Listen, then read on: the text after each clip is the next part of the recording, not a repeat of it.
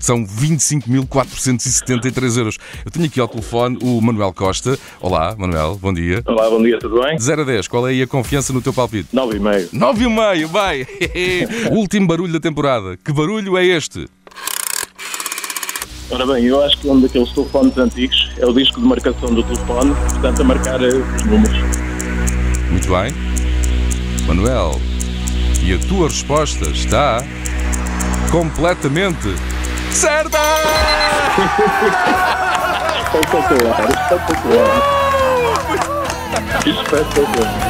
Que barulho é este? Na RFM.